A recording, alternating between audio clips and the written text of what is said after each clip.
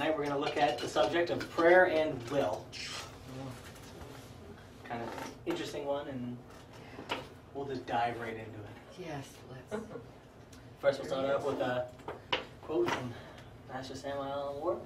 The great work is first of all the creation of the true human being by dint of our will, based on conscious labors and voluntary sufferings. So this is kind of a good quote. It kind of lets you know the overview of what's involved with the Gnostic work. Conscious labors, we're working with a purpose to achieve something. Voluntary suffering, that's because we're trying to distance ourselves from the ego and the desires that we identify with that are brought to us by the ego. So, no By dint, what does he mean, dint? Uh, the true human being is, is uh, the true being by dint of our will, by the use of our will, by Oh. using our willpower. So, just kind of a different word. So through the use of our willpower based on conscious might labors and translate voluntary. Exactly. What's that? Uh, And we were saying maybe he, in Spanish, someone translated it That's that right. This is very this is very possible. The word Yeah. because I've never heard Some of the books you can see, you can see the different translations. Yeah. Yes, yes. It's, it's, it's, it's all pretty much similar, saying they use different words is because of translation. We'll talk a little bit about that actually in this lecture. Before we go on, we're going to talk about something he tells us the level of the being. He talks about it in many of his books, especially his books near the end. The level of the being. So there, first we'll look at many different social levels exist. This is something that we're aware of. We see it every day outside in society, many different social levels, economic situations, people who are interested in different things, people who are striving for different things. This is an obvious statement. Society is made up of people who all exist in different ways. There are people of the church and of the brothels, drunkards and the abstemious, honorable and the shameless, etc. the mass, or society, is the sum of the individuals. So our society is equal to the sum of all the individuals who make up that society. The transformation of the mass of nations is not possible without the transformation of the individual.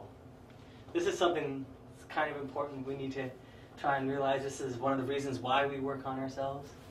Because if we don't change ourselves, we, we can change very little. This is why a president might come in and the nation has great hopes, but everything stays the same. Because unless people change, the nation doesn't change. All of society is just a representation, an external representation of the individuals who make up that society. That's why you see something of everything. Drunkards, abstemious, honorable, shameless, all these different opposing ways of living. The people all seem to choose one path or another, and all these people come together to make up the society.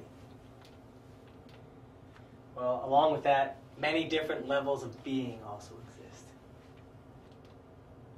The different levels of being attract the diverse circumstances of life. We must make the effort to know what our particular level of being is, our moral level. moral level isn't a direct translation, it's just kind of like, I'll say moral level because people might kind of understand what we're talking about when we say being. Sometimes that word, we relate, well, the inner being and the, ah, this and that. But when we say the level of the being, we're talking something similar to moral level, but not quite as shallow as just saying your moral level. Just so we can start to get an idea of what exactly we're saying here. So what are you saying? We'll get to it, but all things, all, all circumstances that occur outside of ourselves are the reflections of what we carry within. When we change internally, uh, that them, the exterior circumstances of life will also change. So what we're saying is like just how society is made up of many different types of people, drunkards and religious, and all these people represent different levels of being, of internal being. That we all, all of us, are at a specific internal. Uh, we have a specific level of being internally. So this is yes. Want to ask you, so if everyone, like, if everyone affects everything else around them, so my level of being, does it affect only my circumstances in my life? Uh, most directly, it does. Yeah, most directly. but it can affect other people as well, the people close to you. Like We know the way we act, the things that we Okay. say affect the one people around us. Okay, yeah. This is why when we talk about that you have to, the, the individual has to change himself to change society, you change yourself, you change your circumstances, you change the people around you, you affect people positively, then maybe it trickles on and they affect the people, and it all started with you because you changed your reaction. But does, but also do with circumstances, you attract circum, certain circumstances just by, uh, you know, the way you are, you know, Yeah. like if you're a very negative person, you're gonna attract more Exactly. negative, uh, That's what we're, that, that's exactly what we're saying. more Like, negativity, yeah. you know, will come towards you because you are angry, so Oh, it kind of, but if you're a more positive type of person, you Yeah. get more positive, uh, Mhm. being attracted by, This is what you. we're talking about. This is what we mean by a level of being. Like someone who is a level of being is like a drunkard. They're always attracted around them other people who like to drink, and they'll always attract around them those scenes that occur to people who drink a lot. And they'll, Yes, just as an example, but this can be Yes. used. People who are dev- devout Christians will attract around them other devout Christians. They will. So or level. thieves, or, Yeah. yeah, whatever. So Yeah, all of those people, that would constitute a level of Being. internal being. Yes, The, the way that we are internally right right now. Yes. like what our level of being is currently that is drawing the circumstances of life to us. Gotcha. So level of being can also be seen as like a marvelous ladder. I know this is a staircase, but the symbology is the same. Very nice. yes, William Blake. William, oh, William Blake, yes, of course. we find ourselves on one rung of the ladder. Below are people who are worse than us, and above are people who are better in their level of being. That's one way we can look at it. Yes. We are on, we are on one rung, but we can climb to another rung. A higher level of being is directly above us from instant to instant. So titles, ranks, promotions, etc. in the physical world cannot raise us to the superior step in the level of being. That's why I say it's kind of important to objectively view ourselves and see what is our current level of being, where are we? Like to use the example of the drunkard again, if he were to change his level of being, if he were to say, hmm, this has not been a positive influence in my life, so I will stop being a drunkard, he would then start to draw to himself circumstances that were different than what he would before if he was to stay at that particular level of the being. This is not something that we're stuck in. We're not No. stuck in the level of the being that we are at right now. We can move to a higher level. I guess equally we could move to a lower level That's right, as you well. fall as well. hmm So this is kind of one of these things that we need to think about. We need to try and reflect on. What is my level of being? People who are interested in spiritual knowledge or spiritual things will attract other people who are interested in spiritual things, like groups like this or whatever. But that doesn't mean that we've made it or that we're there. We just we need to be kind of conscious of what effect we're having externally, what internally is affecting us, what is our precise level of the being. This is one of those subjects that is a little difficult to grasp at first, the level of being. If you research it a little more on your own time, you, this is one of those subjects in Gnosis that you'll you will get a lot from. But trying to explain it totally here would be a little difficult. Maybe we could probably do a whole lecture on level of. But I just wanted to kind of introduce it at this level because he talks about it in some of his books, and maybe you've read it in some of his books, but it's one of those subjects that's important to this study. This is all a quote from uh, Master Samael. A number of activities belong to each level of the being. When one moves to a higher level of the being, one has to take a leap and abandon all the activities that one had in the inferior level of the being. Like we said, the drunkard wants to better himself, the first thing he has to do is stop being a drunkard and attract different circumstances. Into my memory come all those times in my life, 20, 30, 40 years ago, that were transcended. Why? It is because I found superior levels of the being. So there will be things that we're doing right now, but because of our level of being, we feel these are the most important things. We have to do these. These are all consuming. And then maybe down the road, we, our level of being will have changed, and we would have thought, maybe I shouldn't have been so all encompassed with this thing or that thing. Maybe I should have been more focused on internal work or whatever it is. If one moves into a superior level of the being, then many things that are presently important to oneself have to be left behind, because those things belong to the level in which we were. Mm. Therefore, the psychological transaction into another level of the being includes a leap. That is a rebellious leap. It is never of an evolving type. It is always a revolutionary dialectic leap. So this leap is never an evolving type. What does that mean? That means there's no law in nature that's going to move us mechanically from one level of being to another. Or from one level of being to a higher level of being anyways. This is something we have to work on ourselves. So that's why he says it's a rebellious leap. It's rebellion against the forces of nature that want to, like I believe, law of entropy you learned about. Yeah, Yes. I was just Yeah. gonna say Yes. that. I was Yeah. gonna say Very that. related to that. Yes, Law of entropy wants to keep against everything. Yes. that's We're right, the we are. of nature. Right. Yeah, we are going against nature, so Right. it's you So, uh, harder Mm. to make that leap, Yeah. That's you right. know? Oh yes, because is. you know those there's laws that want to keep everything uh, kind of neutral or path of least resistance is what everything wants to fall back down to. But we're trying to continually put energy in to build ourselves up, to put energy in, to learn, to to grow, to move. But you know, uh, says there are all the things that, uh, if one moves into a superior level of being, then many things that are presently important to oneself have to be left behind. So, say, say if you think gnosis is important to you, do you leave that behind, or, I mean, you know? No, the things that you're trying to change, if you wanna mm-hmm. change something. Mm-hmm. It well, could be, if you wanna change being a Gnostic person, then would that be? Well, I know, Well, but the if it's, a- superior level, so what's the superior level to gnosis? If you find that, well, no, Right. but even if you're a gnosis, you, doesn't mean you're at a superior level, you know? I mean, it's within It's you know, gnosis that you you're. might have left things, like it may have made you realize that you leave behind, like material things don't put as much importance. Because on e- that. even within gnosis, I mean, uh, you know, you have to climb higher and higher. So, Yeah. say if, if if one thing was really important right now, and you come to you, I don't know, you go to a higher level of being, you have to leave that behind because that was in your inferior Right. being. Is that it? It, it can be. I mean, the example of gnosis is pretty extreme, but it could possibly. I mean, I don't think from the whole idea behind the whole structure of gnosis is to self-realize, to incarnate your own higher Yeah. being. And So that's it's- a it's not- process, isn't it? Yeah, it's a Yeah. process.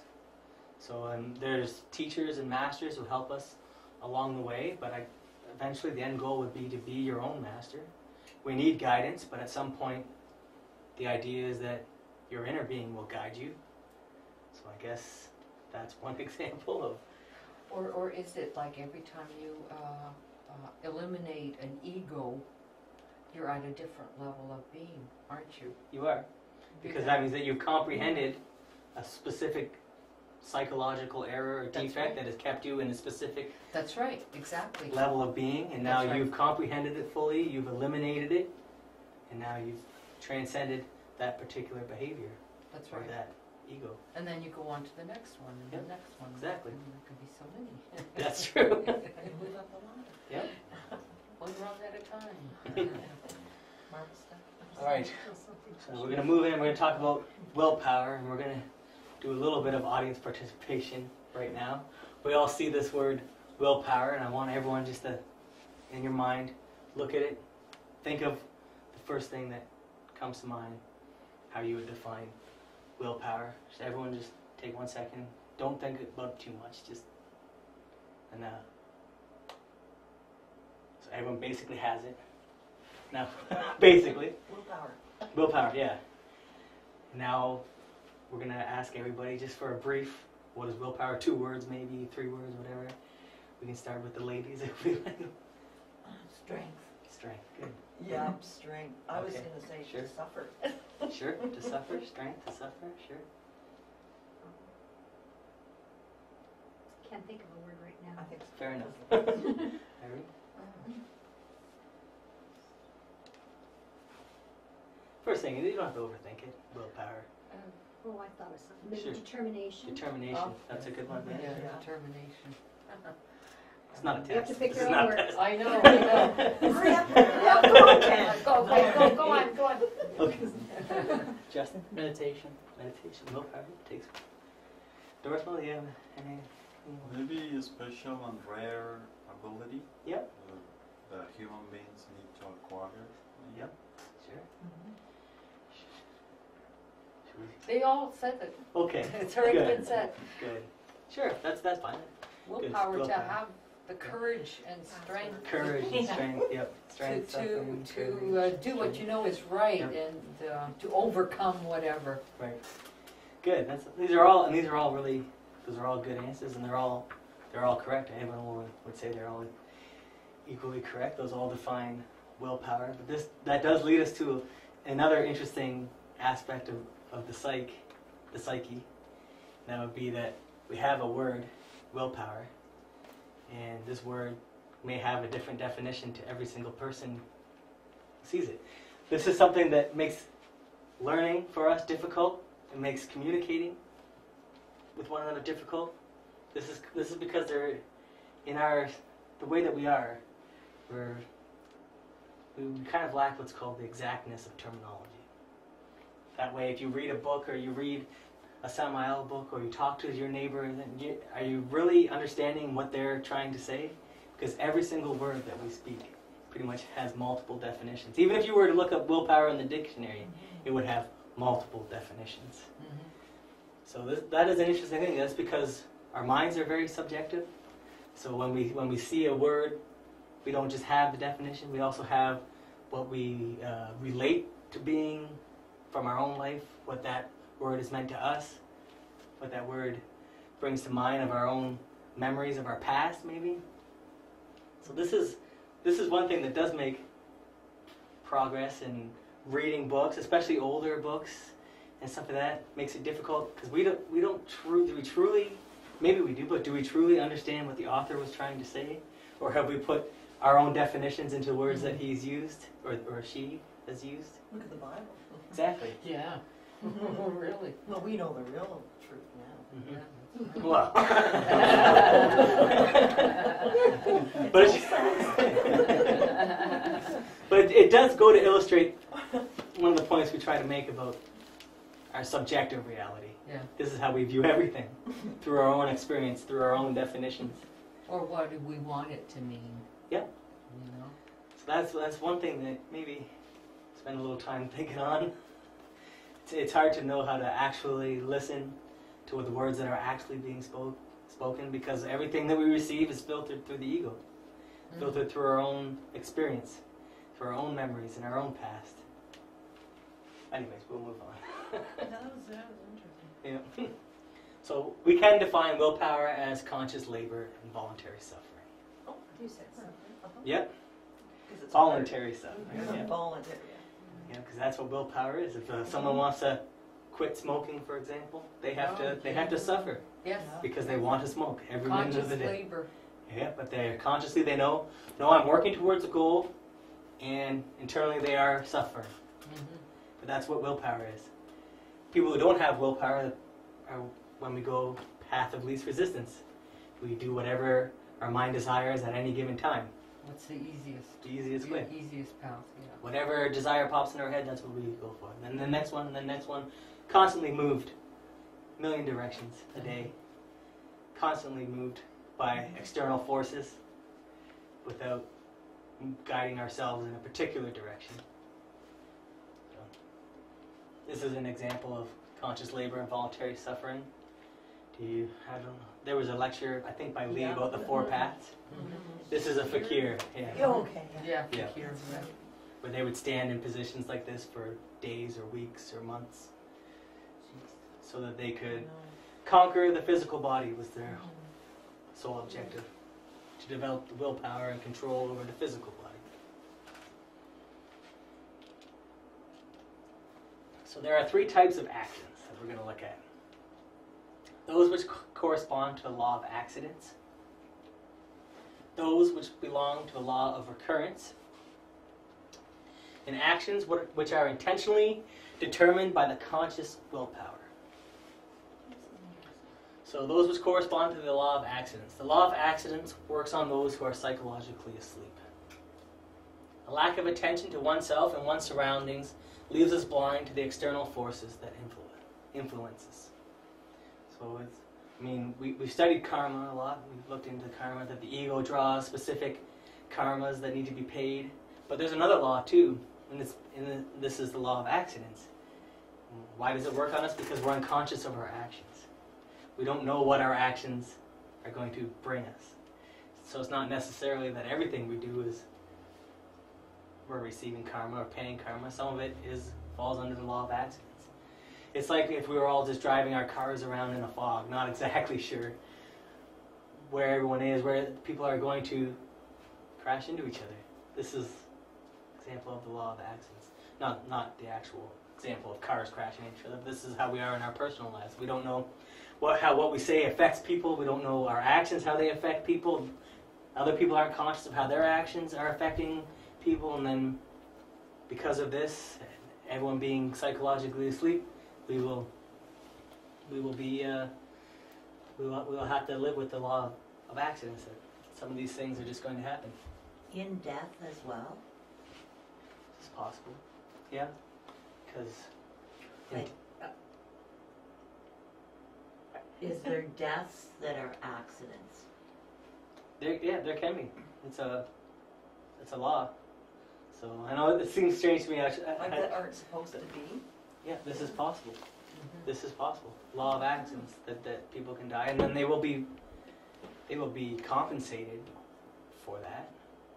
If they die as a result of the law of accidents, they'll be compensated somehow.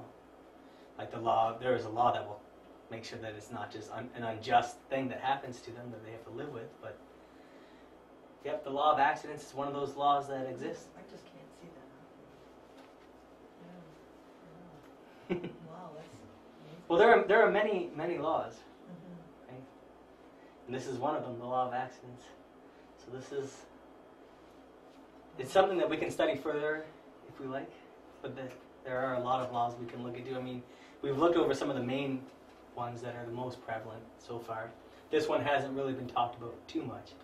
Well, wouldn't that be like a, a lack of attention to one's surroundings? Like if you were, you know that there, it's an avalanche uh, warning, but you go out, um, That's you know, Yeah. heli skiing or something and, and are killed in an avalanche, because would that, would that be a law or, or the, of Can be. accidents, or maybe karma too, right? Yeah, it's possible.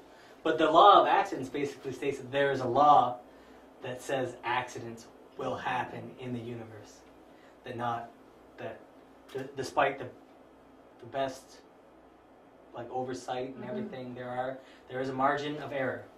And you could be uh, drawn into someone else's karma, right? Like they have to be in the car accident and they have Yep. to be, This is possible. But you're psychologically asleep when you have the accident. Yeah, maybe you're not, yeah, you're not aware. a lack of Conscious. attention Well, I mean, thi- thi- thi- this is how all of us basically live our see him days. with the center line. Right. Yeah, and sometimes uh, the law, the, the karma, uh, the lords of karma, they take the law of accidents to fulfill the karma of some people. People, yeah. Like the master tells the story of a young, uh, some young people who died in a car accident, in a Mhm. terrible car accident, Mhm. and then um, he decided to investigate in them Mhm, in their past lives, mhm, and then he found out that uh, the guys were like in a previous slide they were like beating some other people, mhm, defenseless people mhm, they beat those people without any reason, just just for fun, you know. mhm. Okay. Yeah, they were So violent, yeah. and there there was and then they died in an accident, a car Mhm. accident. Mhm. But the the law of karma can also. Uh, these laws can be an instrument of the law of But what if the guy's had a girlfriend in the car and she dies too? Then is she part of the law of accident? if Because the, if the she's if she has a karma, she will pay. She doesn't have karma, she will be just Yeah. released or or minor accident. Right. Mhm. Sometimes, uh, if, for instance, a person by law of accident dies, uh, let's say 25 years old for some accident, then she will be back immediately That's to saying. yeah. pay, to repay, or, or to Regain- to continue living continue, the, yeah. the Oh. amount of time that. But it, it, that's what we were saying. If the death And occurs even- as an accident, And they even will be repaid in some way. I would add that the the, this law, even the people who are, even the masters, they are, sometimes they can be caught by the law of accident. Mm-hmm. Even the gods. Yep. Sometimes. It's a, Oh. it's a cosmic universal law. Accidents. There's been will crashes of UFOs, Yep. for instance. Oh, okay. And there's Law of supposedly they're, accidents. you know, higher spiritually advanced people, so Uh-huh. accidents happen too. Yep, this is true. So this is it's an interesting one that people whenever Yeah. we bring it up, people Yeah, get this is very interesting. they, they get comfortable with the ideas of karma and then start getting comfortable with things they understand, and we always gotta throw something else in there that gets them going. What is with these guys? But the law of accidents. So we'll move on to the those which belong to the law of recurrence, which one everyone's a little more comfortable with. Each life we repeat all that we did in the previous life. This is recurrence. A vicious cycle of the repetition of dramas, romances, events, and encounters with the same people. So these are the three three types of actions that happen that drive people. So the law of recurrence, I guess we don't really have to go over too. Uh, I think it's been driven home. Yeah. Okay, so we know it's we know it's yeah the law of recurrence that we have to come back to the physical. We repeat what we've done. Uh, we know that it's similar to but not the same as reincarnation, which is uh, what masters can do when they intentionally pick the circumstances surrounding their return to the physical. This is more like we have to recur in the same uh, situations to repay the karmas that we've we've acquired. And the third is the actions which are intentionally determined by the conscious willpower. The conscious willpower is the essence, the connection to the inner being. These are actions which are the result of the being manifesting through us. So these are what we call intentionally determined by the conscious willpower. Yes. Okay, so the the idea um, being expressed here, then just uh, make sure I got this right. Um, uh, so the level of being is is really um, how we use our conscious willpower to decide which laws govern our life. Do we do we want to stay unconscious and let the law of accidents govern our lives, or uh, or like can we can we Right. uh, re- revolve or create some sort of revolution of the consciousness, and then we realize we're uh, being governed then by recurrence. So like our egos keep coming Right. back until we destroy them, and then uh, through the conscious willpower. So like the third one is, is that the idea being expressed? Well, the idea is that, like, in everyday life, these are the three types of actions that drive Okay. people. People are driven by the law of accidents, the law of recurrence, and this is a third one that is more rare. But this is another way of that, that are uh, these are another type of action. This is the result of, of the being manifesting through us, or us using our essence manifesting through us. So that we are actually doing the will of our inner Father instead of the will of ourselves. Is the idea. Well, for that to have to be, wouldn't you have to uh, awaken your consciousness?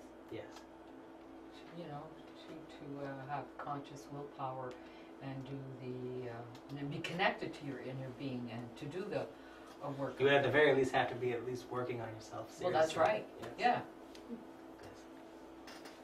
So these are the three actions, three types of actions. The common and current acts of mankind are always either the results of the law of recurrence or the mere product of mechanical accidents. So those are the two most common. This is what everyday life is, product of people are unaware of themselves, they're unaware of their actions, they're unaware of their surroundings. So they're pretty much governed by recurrence and mechanical accidents. Yeah, mechanical. They just go through the motion Exactly. without even thinking about Yep. it. So who's, whosoever has their willpower, willpower bottled up in the ego is a victim of circumstances. So when we are controlled and run entirely by the ego, we will always be a victim of circumstances. These things will always happen to us. We'll always feel a victim. We'll never know why. We'll never comprehend. That's why, like we said, it's important to understand the level of being. But even when you do start to work on yourself, you'll see that these are all laws. Even when you're come to another level, higher awareness of yourself, it's not so much that you can choose which laws govern you and which ones don't anymore. It's just more that instead of driving around in the fog with your lights off, now you have your lights on. And you can see what's coming your way Mhm. instead of But these are like these laws are laws that govern, like Doris Mel said, they govern masters, they govern gods. But to be aware of them, that's a powerful thing because now you, you can adjust certain situations so that they don't hit you so hard or so that you can not have to have the effects of these laws. That's why we work on disintegration of the ego because the ego is what attracts the karma and what the karma is there to balance is the ego. You, lose the ego, you don't need to be balanced by karma. Whosoever possesses free willpower can originate new circumstances. Only persons who have liberated their willpower through the death of the myself shall be able to accomplish new acts born from their free willpower. This is what we've been talking about the whole time about being either driven by the ego or by the inner being. It's the ego or the essence, right? So, persons, only persons who have liberated their willpower or their essence through the death of the myself or the ego shall be able to accomplish new acts born from their free willpower. So we'll be able to drive ourselves in a specific direction that we want to go. But we can also change the circumstances of our life by changing our level of being as well. So so the problems of life are nothing but mental forms with two poles, one negative and the other or one positive and the other negative. Problems are sustained by the mind and are created by the mind. This is if you start to work with self-observation, you will you will begin to realize this. That if there's some particular thing you're dreading at work, say you have a situation that you're not looking forward to dealing with, that will start to become a problem in the morning when you start thinking about it. You start saying, "Oh no, today at three o'clock I have to do this thing that I don't want to do," and then uh, and then seven thirty in the morning, and you've already created a problem for yourself where one doesn't exist yet. You see? Sustained by the mind and created by the mind. And maybe when that time comes and you have to deal with that situation that you were, maybe it goes better than you had expected. Maybe, maybe it wasn't a big deal. And then how much energy, how much time, how much of your own life have you wasted putting in your energy into developing this negative idea that, oh no, this situation is going to ruin my day before it has even occurred. See? But I find a lot of times if you start off with such a negative attitude, um, it builds. Yep. And then you get more and more, you know, like, and so you talk yourself into having a lousy day or whatever, Yeah, that's exactly it. you know? And whereas it didn't have to be, but, uh, and then you get to it and then you're just so, so uptight and then it will turn ro- ro- rotten because, you know, you're, you're just so psyched up. hmm You're just in such a negative space. Exactly. Or, or it could go the other way too. Like there's many times, know, at my work, when I work on cars, so there'll be a car that I know is coming back that I was I had worked on it. There's something wrong with it deal. What did I do wrong? I oh man, now they're coming back. They're not gonna be happy. What did I did I did I do something? I, I'm thinking. I'm trying to what, go back my mind. What did I do? Did what what was it that I did that wasn't correct on the car? And how much of a pain is this going to be to fix? And is this guy going to be mad at me? Or you know, Yeah, yeah, yeah. the car comes back.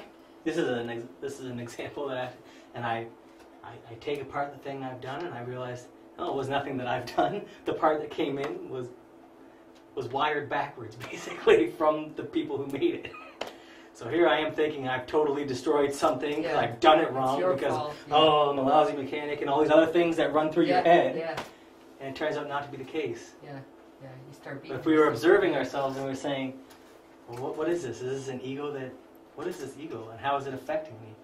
Well, I see, I'm, I'm becoming pulled down, I'm feeling heavy, and now the job that I am currently working on, I'm not focusing enough attention on it because my mind is trying to think of this other problem that's coming down the line tomorrow or whatever.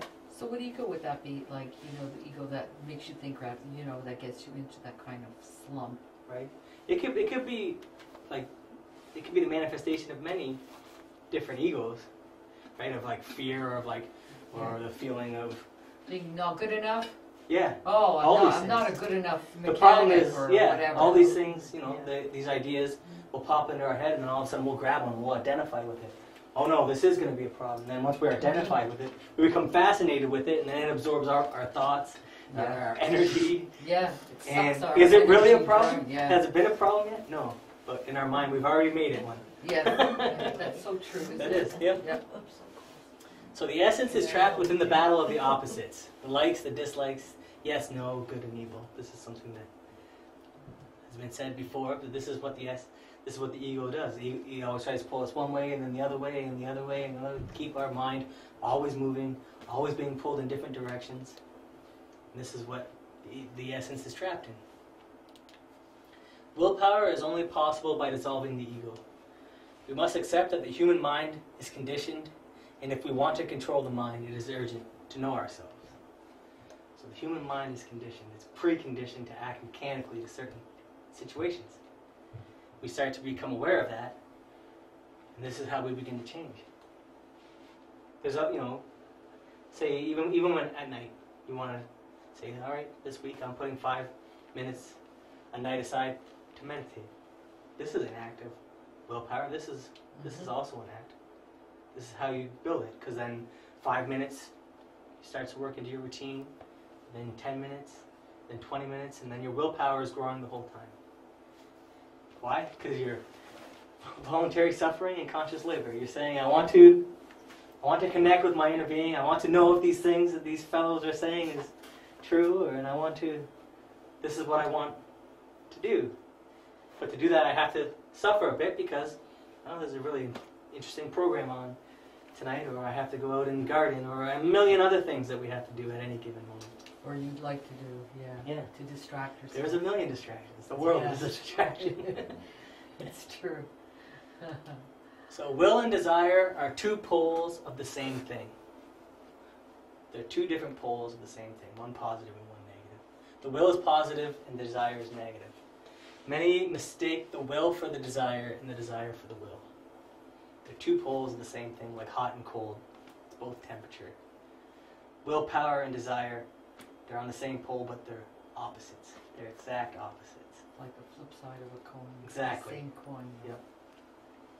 So, so sometimes we have a desire, and then we we uh, mistaken that for will. Like, oh, I really saw that. I saw that new car, and I liked it a lot. I, I, I would like to get that car, and then this then we think, well, if it's going to take will, you know, I got to put my willpower into. Is that a will or is it a desire? We have to meditate on it. We have to try and understand that these aren't the same things. They're they're they're they're they're the opposite. Desire enslaves the will. It's just like saying the ego enslaves the consciousness or the essence.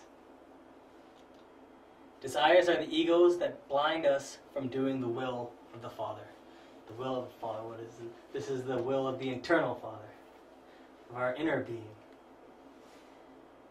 Sometimes we sometimes it's easier for us to pay attention to it, and sometimes we feel like, no, I, I'm starting to connect with the inner being, and then other times we have all these other desires, and life itself pretty much gets in the way, and this makes us seem like we're too busy to work on the path. We can't even find five minutes a night to try and meditate or, or whatever. Now we'll get into prayer. Without prayer, we cannot develop the will.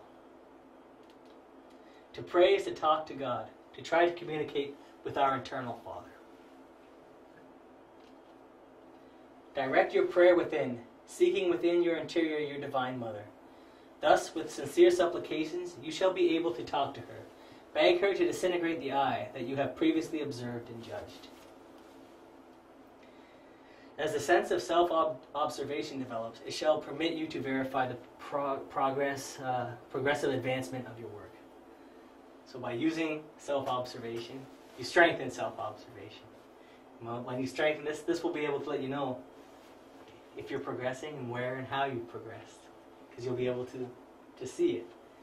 For an example, like if you always react the same way to a certain situation, someone says something mean to you and you get mad, and then someone one day says something mean to you and you say, "Wait, what is this feeling? Why are they saying this? And is, is it true? Is it?" You start to have some of these ideas coming into your head, and is that a progress? Mm-hmm. It is. Yes. Like these things, it's not this whole the whole teaching, the whole gnosis is not meant to be an overnight. One day you're going to wake up and it's going to be you're going to be there. You're going to be floating around the room and spitting out rainbows or whatever. this is this is a work. It's a work, but it, it's important to remember this is a work that you can verify. You can verify the progress you've made through self-observation. A specific formula in order to pray to our inner Divine Mother is not necessary. We must be very uh, natural and simple when we address her. Like a child who addresses their mother and speaks from the heart. Sometimes being ceremonial, it's nice and it sounds nice, but we want to we want results. We want to connect. We shouldn't spend too much time trying to be formal in our speech to our inner mother. When we pray to our heart, we should just be more natural. Like a child who wants assistance from his mother, the child would never think about the words they're going to say and how how to beautify the words and how to how to speak really elegantly to the divine mother so that she will be complimented and then want to help us. This is not how it works. she wants to help us. Our inner beings, they want to help us. We don't have to be formal in the way that we speak. So prayer and the psychological work is fundamental for the dissolution of the I, the ego. We need a power superior to the mind if we indeed we want to disintegrate this or that ego. The mind by itself can never disintegrate any ego. We can't think some of these things away. We can we can change maybe how they manifest by trying to be more but then and what happens they become they hide themselves more. They're still there and we think that they're it's gone, but it's there, it's just changed form. Become sneakier. this is how it is. So we need to pray. We need prayer. We need to ask for help from that which is superior to ourselves. So uh, we're going to look at a couple different types of prayer. So it is necessary to learn how to pray scientifically. The person who learns to intelligently combine prayer with meditation will obtain marvelous objective results. There exist different types of prayer, and their results are also different. This is probably something that we've thought about, or we, we realize there are different types of prayers, and we've learned many types here. We, maybe we didn't say that they were prayers, but there are there are many different ways of praying, and that's what we're gonna look at. The first type we're gonna look at is egoic prayers. Prayer is meant for spiritual purposes to strengthen our connection with the internal worlds. When prayer is combined with materialism, it then becomes dominated by the ego. For example, you want to pray for money or for fancy cars or fame, etc. I mean, it, might not be egoic in some instances to pray for money. Maybe you need financial assistance to help you and your family. Um, but sometimes, if you want to pray to win the lottery, maybe that is a little egoic. With this type of prayer, we are wrapped up in fantasy, desire, and the consciousness remains asleep. This type of prayer, I mean, everyone can remember some of these. Just we've all done this type of prayer. It's almost like bartering, like, "Oh, please let me pass that test, and I swear I'll study from here on in," or something like this, right? That's egoic. It's a, it's a very low form of prayer. It's almost praying in a daydream, kind of like how when we walk around in the daydream now we're praying also in the daydream so the benefits are, are very few if any It comes to my mind when the, these um, fanatics of the sports, when they are in the soccer field and they Yes. they start to pray. Pray and- their team Oh, will win yeah. yeah. yes exactly It's a- does that progress anybody spiritually no it's more like a, you have a strong desire and you want to try and put it into prayer form so that's one I think we can recognize. And, and like I said, everyone can recall some of this saying, like, like when you're young, this is the only way that you pray. Oh, Pretty yeah. much, right? Please don't let my mom find out about what I did at school, and I swear I'll be good starting now. This is what one not to do. yeah. Hmm. so that's egoic prayers. We can understand what we're talking about. Then there's something much more elevated called the ancient or high prayer, and it's the Our Father. The Lord's Prayer is one of the most perfect prayers. To properly uh, pray the Lord's Prayer, it should be done over the span of an hour and in a state of meditation. Because we've all heard, well, maybe we haven't, but we may be familiar with the Lord's Prayer and we have connected, kind of maybe mentally connected it to Christianity or something like this. But this was a prayer that was left by Jesus, a master. And it has deep content that we glaze over when we say it mechanically. So we should disassemble the lines in this prayer and analyze them. People make the mistake of praying the Lord's Prayer in a mechanical way. Gnostics must do the will of the Father on earth as it is in heaven. But men generally call and invoke God so that he may do their will. This is one thing that we need to think about. What, what does that mean? That is true. This is usually what we usually invoke God so that, or the divine, so they can help us in some way or help Do us our with it. will. And sometimes we need that. We need to do that. We need their help to move on. But sometimes we also need to pray so that we can know what their will is for us. What the spiritual will is, the will of our inner being. Yes. Well, there was that, um, um, Oksana Bayul, she won the Olympic gold, and every time she stepped on the ice, she did the sign of the cross. Sure. Like, Yeah. and everybody saw it, and people were commenting on it and things, but Right. she did get Olympic gold, that's probably what she asked for. But maybe Maybe. it was the first kind of prayer. the Maybe it was. Ego. Could be. ego. Or it could be that, like, Yep. Could be. It could be many things. Or maybe she was meant to get an Olympic gold so that people mm-hmm. would see that she was religious, and then maybe the idea of spirituality could be brought to people's minds who are watching it from television. Who maybe it's possible. There, there are many. and they always, when they ha- get the Academy Award, they always thank God, right? How many actors go up there Yeah, and this is true. everybody? I don't Wives. believe that's an ancient or No. hype. No, but they do, so many. Thank. God for making me famous. Maybe she was just saying thank you for giving me this. It's possible. Yeah. To- yeah, Or maybe for the position they're in. Maybe they're trying to be- Appreciate this. Yeah. Show gratitude for Yeah, their position Yeah. in life. This is possible. Yeah. You never know. It's hard for us. We can, you know, we can, we can judge other Yeah, people right. all we like, don't but oh. it's hard.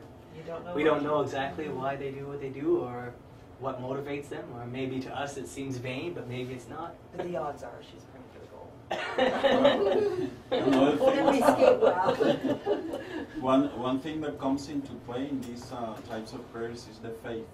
yes. When you have faith in something, Yep. Mhm. that can materialize. Right. Yeah. Uh, I uh, remember a case when uh, there was uh, this disciple of Master Samael.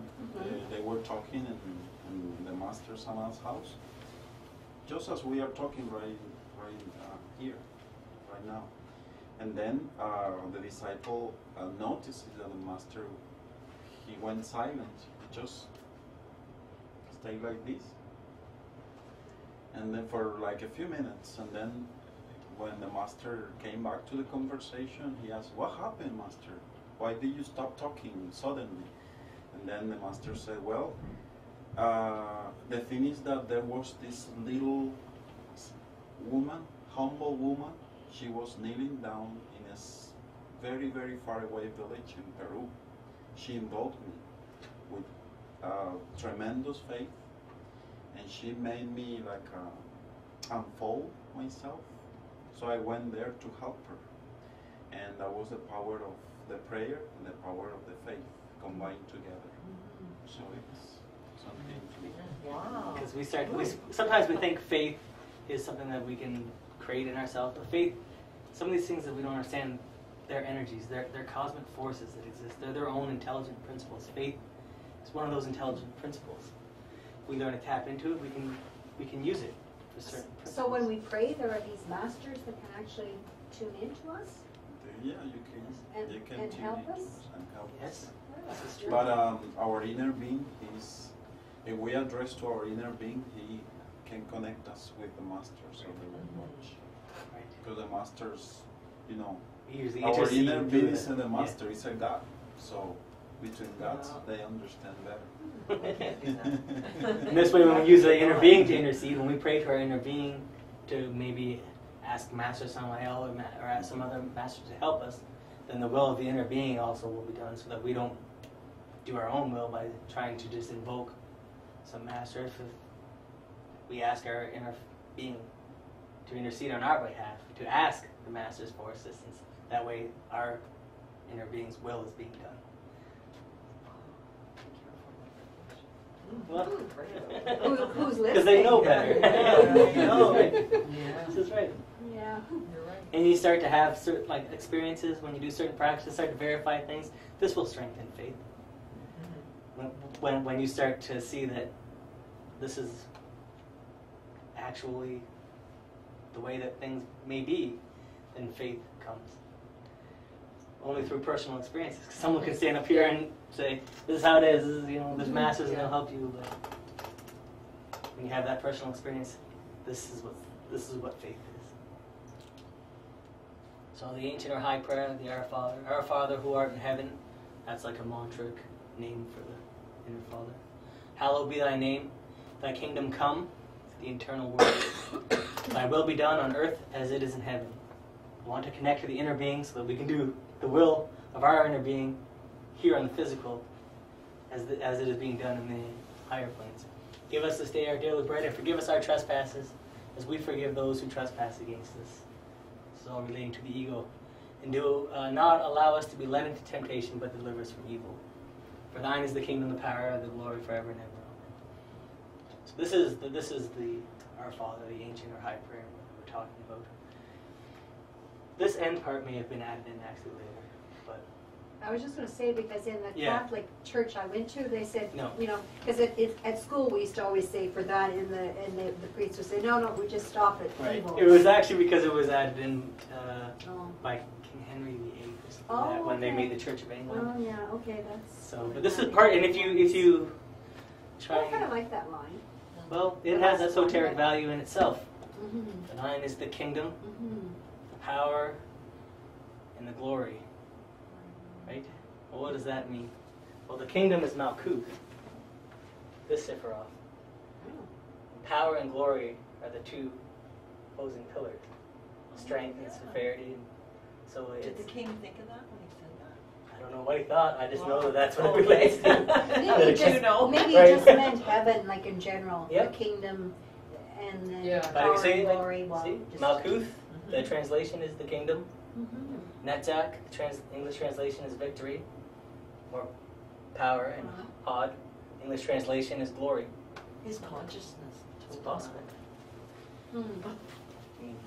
Back in those times, Yeah. kings, they would study this kind of stuff. Yeah, that's right. Alchemy was Right. called the royal art, right? And they would Oh, study yeah. these kind of symbols. Mhm. So a single Our Father, well prayed and wisely combined with meditation, is an entire work of high magic. After the prayer, we must know how to await the reply of the Father, and this means to know how to meditate, to have the mind still and in silence, empty of all thoughts, awaiting the reply of the Father. But as we said, even though, even when I ran through that, that that's not to, to truly understand it, we would have to meditate on it line by line, and we would understand all the depth that that prayer has. It's not particularly solely a Christian prayer, is it? It's, maybe from Christian Bible, but the man who gave it, he wasn't a Christian, he was a Jew, right? And an awakened master. So this prayer is powerful.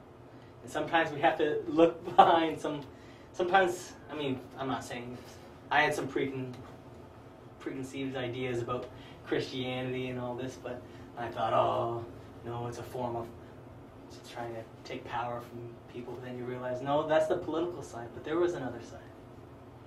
There's another side where the esoteric teachings were still kept in Christianity. So it's, it's important to be open-minded about everything. And, and if you are Christian, then this helps you even to get uh, you know, deep, more more deep understanding of your own religion or your own prayers. Then there's the ma- mantric prayer. We try to practice those at least once a week here. Uh, the vocalization of mantras, when combined with concentration and imagination, awaken our internal faculties. This is a type of prayer, trying to connect to higher powers, to our inner self. Mantras are most effective when recited with devotion. This is just like what Doris, Doris Mel was saying about that other story. When we, when we do these things with devotion, concentration, and imagination, we, we then receive the most effects from them. To do them mechanically, maybe we will receive some, and it's good to practice them. But with devotion, concentration, and imagination, we'll go further faster, we'll just say. So mantra prayers come in many forms. Those that relate to the seven sacred vowel sounds, those that relate to the words of power, like gate gate. So this is kind of a little review. We know this. Like this is also an idea of how there are many, many different forms of prayer. Well, there are many different forms of mantras with specific purposes. The vowel sounds specific chakras, and then the words of power, like gate gate, are for specific occurrences. Maybe so we can experience the illuminated void, or so that we can connect to the inner being. So mantras are important to help the intellect achieve a receptive, tranquil, and profound state. This is one of the reasons why we have so much trouble connecting to the inner being. Because we're never usually in a receptive, passive state. We're always lashing out. We're always reacting some way, in some form, to what life is throwing at us. But to have the intellect receptive, tranquil, and profound, this is when experiences come, when we are more passive. This is the purpose of meditation. And there's the rune yoga, which we learned a little while ago. This is a type of prayer. Just like yoga itself can be a type of prayer, any they're- they're meant to be prayer. Uh, pranayama, prayer, meditation, and specific sacred postures exist within the runic practices. So they combine a number of types of prayer in this one prayer alone. Uh, runic exercises, when combined with faith and devotion, bring the three brains of man, the intellectual, emotional, and motor, into a more harmonious state. The runes are said to be the golden language of the gods, and the use of the rune yoga enables us to connect with the deeper internal aspects of being. So the runes are they, they are kind of a strong form of prayer. People who work with them a lot, they will they will tell you this that they have received benefits from doing them. Help to bring all three brains into a more harmonious state. Yes. And there's actually one that helps us with the willpower. and Yeah. One. Yeah. the- Willpower? Oh, you okay, re- that's what I remember? Yeah. Which uh, one was that? Yeah. I think it was, With the leg? and it was Tay, T. Yes. Tay. Okay. Dorn, Dorn, Dorn Yeah. yeah, Dorn, Dorn right there in the very I got left that. center. I Yeah. got the Yep. That's right. That, that helps us with willpower. There, there are a few uh, advanced runes as well that we haven't learned yet, but I think you will learn them in uh, pre-chamber. So, I like this one tonight. yeah, that's, that's a good one. If we Yeah. I tried it. The for Greek that. of morning hour. Or in the morning or evening. Evening anyway, Yeah, yeah. Yep. It doesn't matter eh, when you do them or how, but it's the, the, the quality of the way you do them Yeah. affects the quality that you get out of them.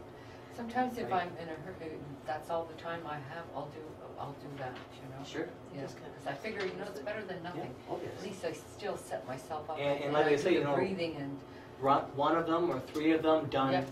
well with concentration, imagine, is better than a hundred of them done mechanically. that's right. This is important in anything we do, meditation, anything.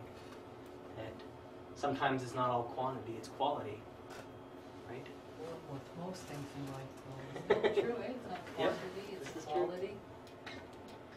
Now we're gonna move on to magic prayer. Oh, oh, an interesting one. My favorite. Spells and whatnot.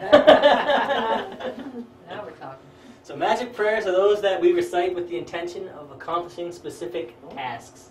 For example, the invocations and the conjurations would be considered magical prayers. We do them for a purpose. Sometimes there's more than just saying things, there's also actions that accompany them.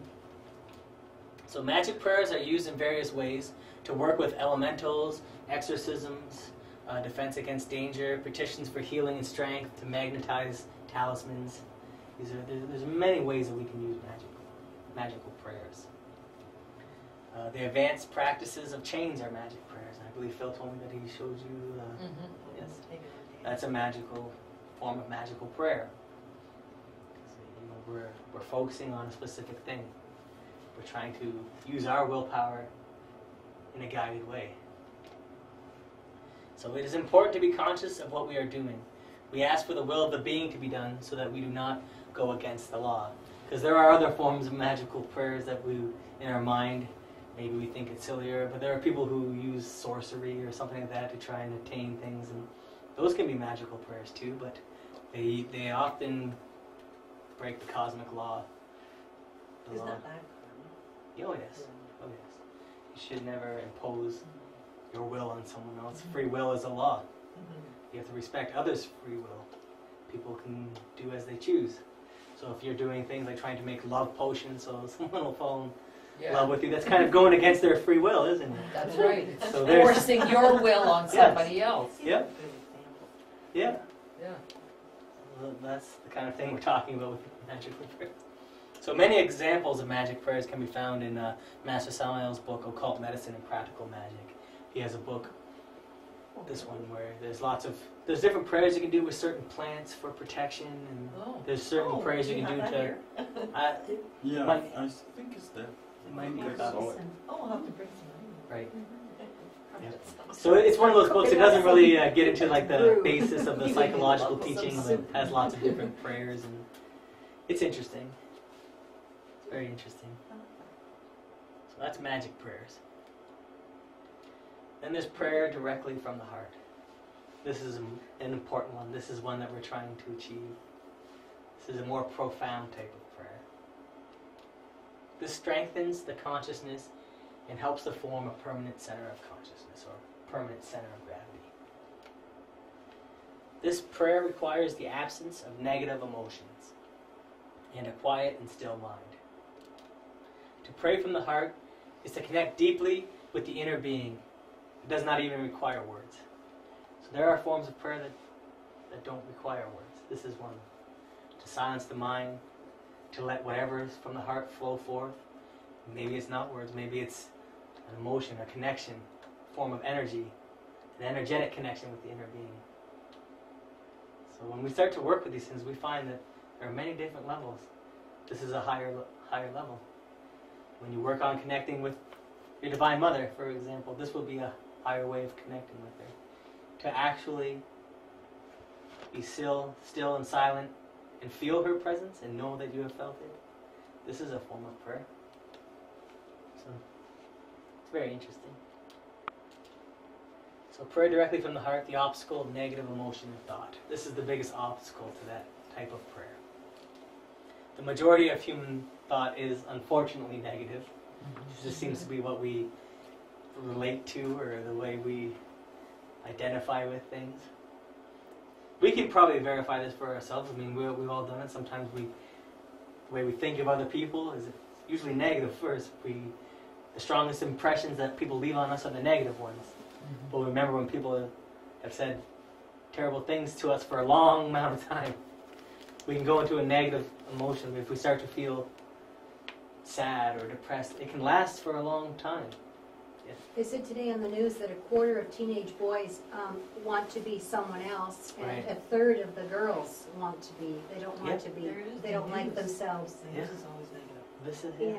This is Yeah. probably true. But a third, third, that's really Yeah. high, right? Yeah. That They don't want, like themselves, don't want to be, Cool. want to be Maybe it's else. you know because there's so much I think it's getting being worse. pulled so many ways Yeah. in society, Yeah. and Kids Mhm. are getting worse. Like, Yeah. Yeah. More depressed. This is that They're possible. getting worse. It's just the, uh, they, they may be in some way. Because it's society. Although I do believe every generation does say this.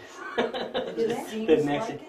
It, it is possible. I mean, in some ways they're they're probably just also more getting better. attention to it, like I was more, experiencing my teenage years, Yes. and I'm thinking of my kids, and I'm thinking, oh, it's really different.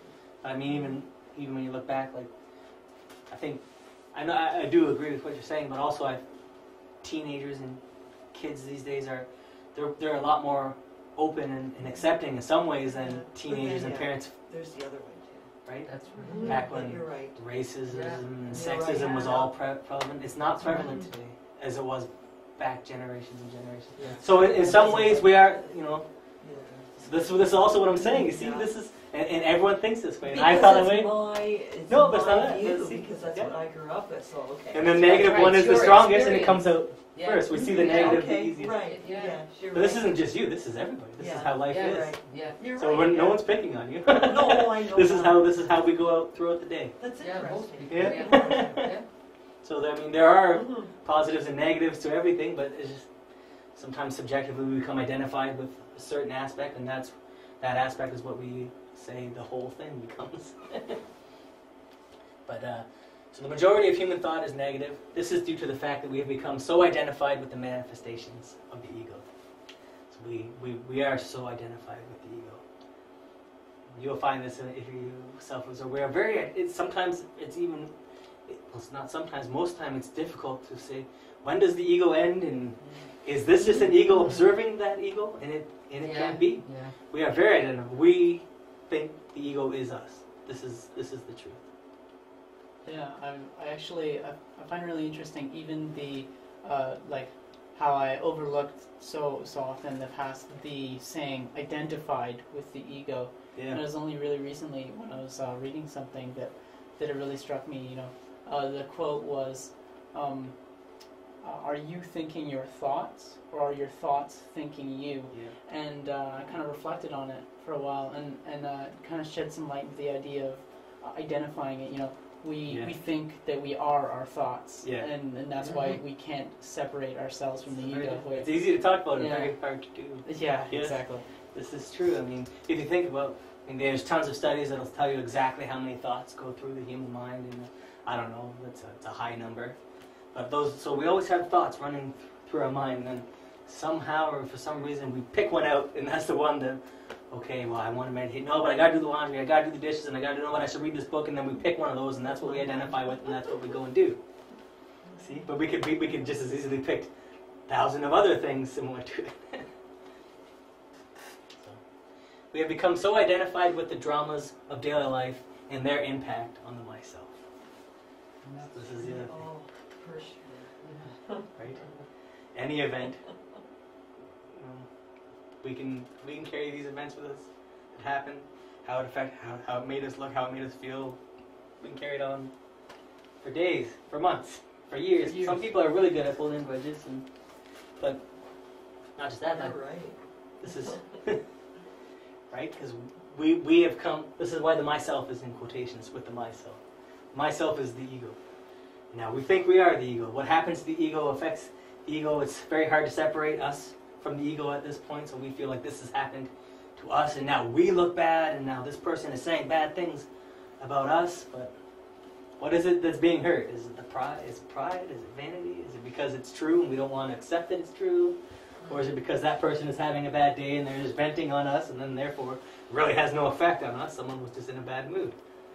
Maybe they were feeling negative, so they want to, Yes, you know, right?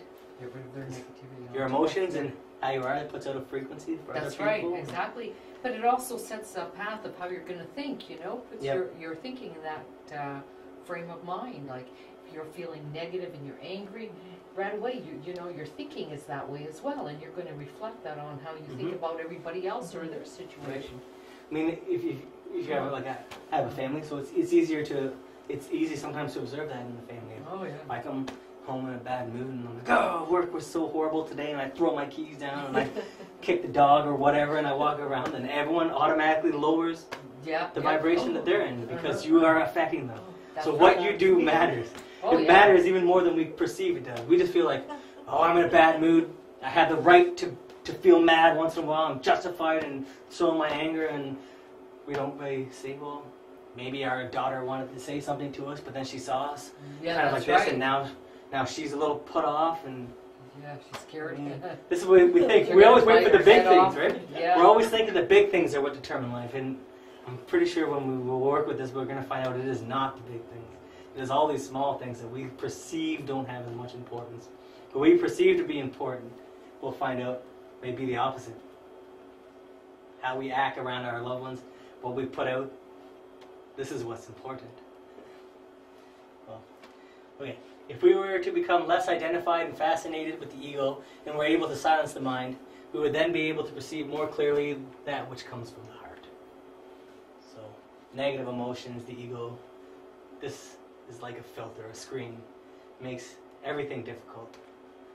So, I mean, mm-hmm. this isn't about saying that you have to eliminate all your ego and then you can pray from the heart. It's about at least taking time to sit down meditatively to try and silence the mind, to look for that break where the ego is constantly working on you, to silence the mind, to focus on the heart through concentration. So, Because I know sometimes I sat there and I'm like, okay, so nothing's going to happen until I eliminate the ego. That's basically what they're telling me. Every lecture, eliminate the ego. All or experience nothing. This is yeah. This is not the case. This is not the case. We're just trying. When you meditate and you take time to self-observe, just trying to trying to break the control of the ego momentarily, Mhm. and you can perceive things differently. You can have experiences by by beginning to work in this in this way. So these things these things are ver- verifiable. Transmutation is a type of prayer. So transmutation is a form of prayer that energetically connects us to the inner being. By working properly with the creative energies, we nourish our higher spiritual values. Working with transmutation can help us to develop devotion to our inner being, the masters of the White Lodge, and to the work in general. So transmutation, transmutation is obviously it's, it's, it's different than than alchemy. Whenever we're saying transmutation, we're not saying you have to work in alchemy. This is this is the pranayamas. This is specific mantras for transmutation. This is this is working with your retained energies to raise them. Is this to raise the kundalini? Yes, Mhm. yes, this is what we're talking about. So Mhm. some people say, "Well, I'm not working in alchemy. I have no partner. I can't work in transmutation." This is not the case. This is not what we're saying. You can. There are transmutation practices that are meant for people who are single, even. Which ones are those again? Oh, we can go over them. We will go over them. Refresh my. Yeah. There are I certain know ones- the Egyptian pranayamas. That one is important. Yeah, that Yeah. one's important for everyone. Single people, married people. But there are other. Uh, there's a. There's some. Of, the- one of the advanced runes is for transmutation, but you'll you'll learn it, I believe, in pre-chamber. There's three advanced runes that weren't covered before. It- Are there any runes that we've studied that uh, are for transmutation? Yep, there are Yeah. some. Like uh, that Kaum is to help with transmutation. And, Which one? Uh, Kaum. Both hands up there. Oh, That's okay. yeah. yeah, Is that the one that we say in the morning or something? Um, you can say it in the morning. Towards the east, I'm supposed to. face Yeah, you east? should generally face east for all, for all of them. Kaum. But there are some in there we can go over, but should move along. I'm, I'm running forward. but it's good. So this will be one of the last types of prayer we talk about: self-remembering. Self-remembering as a form of prayer. Self-remembering is one of those terms in gnosis that you hear a lot, and it can be hard to define what exactly that means. It was for me. Self-remembering. What do I remember? Because I don't really have a frame of reference as to what it is I'm supposed to be remembering if you don't have certain experiences. But there are there are certain things that help us with self-remembering. It's basically remembering what we're doing here, what our goal is, the connection of the inner being, to remember that we have an inner being. So self-remembering is the act of remaining aware of the higher parts of our inner being. This practice allows us to place the consciousness between the events that occur in life and our reactions to them, which is one of the goals here, right? Because if you don't place the consciousness between uh, the event and the reaction, then you are going to react mechanically, like pre-programmed reaction. You're insulted, you get mad. You're praised, you feel joy. These are pre-programmed reactions. Self-remembering is related with both self-observation and the practice of death in motion. So these are two areas that are maybe easier to grasp than trying to understand fully self-remembering if we feel like we don't have well I can't remember what it is I'm supposed to be remembering because I don't have a real frame of reference yet in all of this. But self-remembering is an extremely important practice that helps us to build a permanent center of gravity. This is this is why we, we practice it, to build a permanent center of gravity, which we will discuss a little bit later in this lecture. Well, coming up soon. We're almost there. So, self remembering, the importance of self observation. to know is one thing, and to observe is something absolutely different. We can see this, people are like, well, well, I know that I'm in a bad mood, but this is just the way I am right now. To say that you know that you're in a bad mood, or say that you know this is, is not the same as observing it. Because if you, sometimes people say, well, you know, I know that that's how I am, that's just the way I am, so take it or leave it, that kind of thing. Yeah. Well, to know it is to know is different. It's almost like to accept and be like, yeah, I'm an angry person. That's how I am. this is just the way I am. There's nothing I can do about it. No, there is something you can do about it. You can observe why it is you're angry. What is making you angry? Well, that takes too much work. It's difficult, but it can be done, right? I know, but that's why these people say that, you know, oh, this is the way I am, and so, you know, I accept myself for, for how I am, Yeah. you know. That's it's- almost well, like a because it takes justification of work, the Yeah, ego. it just, Yeah. it's to justify it's what okay. your actions Yeah. are, so you don't have to change. It's Right. much harder to change. Right. It's even hard for us, even any of us here, I mean, like to start with self-observation. It's, Mhm. it's difficult. Yeah. It's very difficult. But this is one of the things we must kind of start with. So one can know that they have a negative thought. That is not the same as observing. So we can be like, yeah, I know I shouldn't hope that my arch nemesis doesn't get promoted, but right? we we can know that we have a negative thought, but it's not the same thing as observing it. That's right. Knowing it, like I said, is like accepting it. Observing it is to see where it has its root. Why is it manifesting right now? Where is it coming from? How is it affecting me? What is it making me do and say and act? That's right. This is observing. This is this will help. In order to perform to perform self-observation, one has to divide oneself in two: the part that observes and the part that is observed. This is how it's done. We say, well, how do you do that? That's also difficult. It would be almost like viewing um, the circumstances in your life like a television program or like a play you're a specific actor in the play how are you reacting to it? You're watching this person who is you but you're not being totally identified totally engrossed by the scene. You're realizing that it is maybe a scene. This is how you start to develop the split.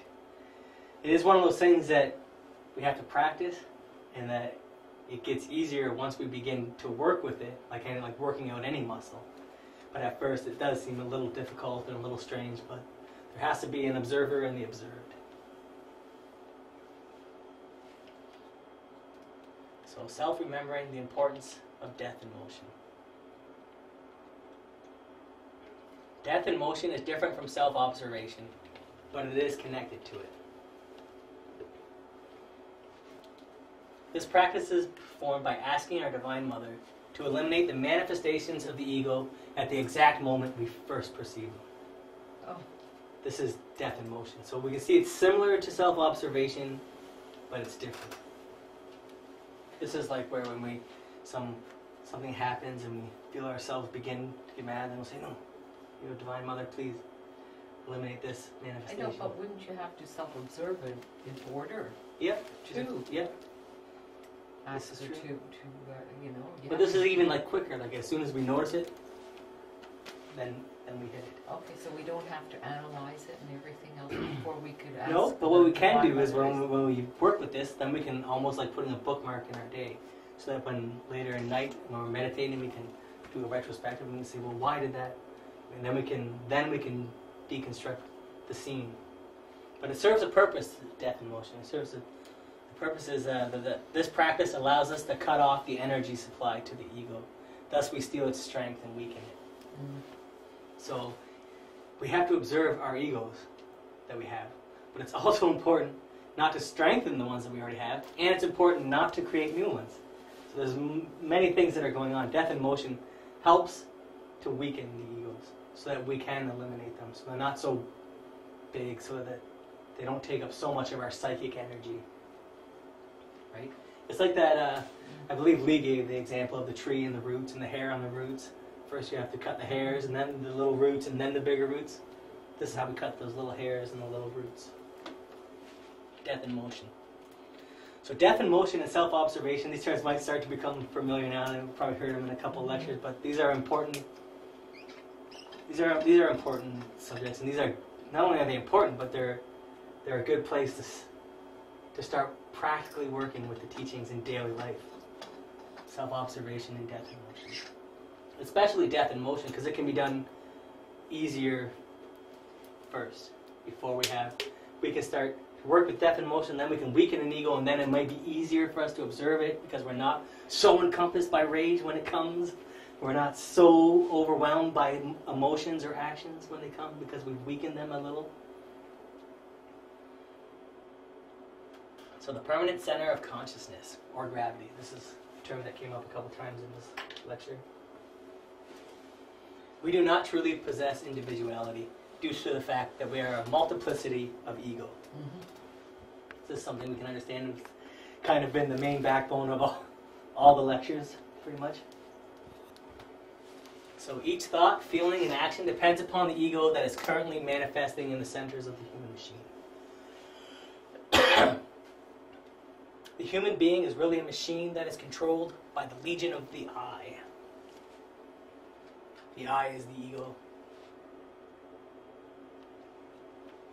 We need to create a permanent center of gravity or consciousness. Fortunately, within the human being exists the essence, which is the most elevated psychic material. So we're this multiplicity of egos, of desires, pulling us every which way. Mm-hmm. Mm-hmm. So we really don't have an individuality as we perceive it. Right? It's like Samael Aun Weor said in one of his books, you may perceive that Joe, that is our friend Joe. This is Joe, and he's a very honorable man. And then one day, Joe lies, and we say, why would Joe lie? It's because it's not Joe, it's Steve. some other some other manifestation of an ego through him. We're not continually the same. Is basically the idea. Or maybe this Joe put on a good mask to fool everyone because he wanted everyone to think he's so honorable or whatever. Right. When down deep inside, it's just a mask. Yeah. We- He's, behind that mask lurks something else, you Right. know? And this is this is true. And this is actually You know, this so- is the ego because you know, we can see it in other people. But we don't understand that we've all done this. We have all created this mask. Yeah. We've all You want to make an impression. But not only yeah. ha- are we deceiving others, but we've actually it's become so fine and we believe it so much that we are That's we're right. actually fooling convinced that ourselves. we are. Or you act different ways with different people. This is Yes, exactly. Yeah. Yep. So, continue. only by establishing a permanent center of consciousness can we individualize ourselves. So, permanent center of consciousness. We create soul by awakening the essence. To awaken essence is to awaken consciousness. To awaken consciousness is the equivalent of creating a permanent center of gravity. This is one of the ways that Master Samael put it. Sounds very poetic and very nice, and one thing is one thing, and then another, and then another, and but we have to look at what, what does that mean for us. When we create a permanent center of gravity, we then have true continuity of purpose. So do we, do we really have a continuity of purpose right now? We're being pulled in many different directions. We're going in different directions. We're floating from here to there to there. And then like the wind changes, our mood changes, and we go this way. Where is the, where's the center of gravity? Where's the, hmm. you know, the continuity of purpose? So continuity of purpose. This means that our actions, thoughts, and emotions are no longer dominated by the pluralized I, by the ego, as psychological aggregates. So now, this is how we start to develop the permanent center of gravity. This means that we create a central point from which all our actions, thoughts, emotions, etc. originate, the inner being. But once again, we can start to create a permanent center of gravity right now. We are doing it right now, even if sometimes we're not aware of it. Because now a react something will happen in life, and we'll start to remember something that we heard here, or something that we read in a book, or something that we verified for ourselves, and maybe we'll take a minute before we react mechanically. This means that we're starting to anchor ourselves so that we're not so pushed around by the winds of life. That the external influences aren't what drive us, but that we can understand that we are influenced by external forces. There, thereby, maybe we can diminish the effects they have on us, or even to understand that we are uh, we are moved by external forces. That's kind of a feat in itself. Most people believe they are the ones that are doing things, they're accomplishing things. They're is it, or, or are they just being moved along? Okay, well, this is near the end now. Talk about Nanak. So Nanak was the founding master of the Sikh religion in the sacred land of the Vedas. He taught the path of the heart. This is a little story about Nanak, the founder of the Sikh religion. it was a Friday that day, And when the hour of prayer arrived, master and servant headed towards the mosque. When the Muslim priest started the prayers, the, the Nabob or the governor and his uh, servant prostrated themselves as is prescribed by the Mohammedan rite. So they went to the mosque to pray, is basically what that's saying. Nanak remained standing, still and silent. Once the prayer had ended, the Nabob confronted the young man, and indigent, he asked him, Why have you not fulfilled the ceremonies of the law? You are a liar and a fake. You should not have come here to stand like a post. He was supposed to go to the mosque and kneel and pray, but he stood there silently. Nanak replied, You prostrated yourself with your face on the floor while your thoughts wandered through the clouds. For you were thinking of bringing horses from Kandahar and not in the recitation of the prayer. As to the priest, he was automatically practicing the ceremonies of prostration, while at the same time his thoughts were in saving the she donkey that gave birth days ago. How was I going to pray with people who kneel out of routine and repeat words like a parrot? The Nabob confessed that in fact he had been thinking during the entire ceremony on the planned purchase of horses. This is saying he wasn't going to pray with these people because they were praying mechanically, out of routine. They had no faith and no devotion. Is kind of an interesting story. And then he ended up being the founder of the Sikh religion. But to pray mechanically is no different than living mechanically. it's the same. We just changed the form in which we were doing it. We go to work mechanically, we eat mechanically, we have relationships with people mechanically, we pray mechanically. Mm-hmm. This, this brings us no or maybe very little benefit. And there's a story also of Jesus. Going a little farther, he fell with his face to the ground and prayed, My Father, if it is possible, may this cup be taken from me. Yet not as I will, but as you will. Then he returned to his disciples and found them sleeping. Could you men not keep watch with me for one hour? He asked Peter. Watch and pray so that you will not fall into the temptation. The spirit is willing, but the body is weak. So does this mean that Jesus was praying with his disciples and his disciples actually literally fell asleep? Or were they praying mechanically? Right? So, continuity of purpose. When we sit to meditate, when, we try to self observe, we have to do it with purpose, with faith and devotion if we want to see the results quicker and if we want the results to be better. That's tonight's lecture on prayer and will.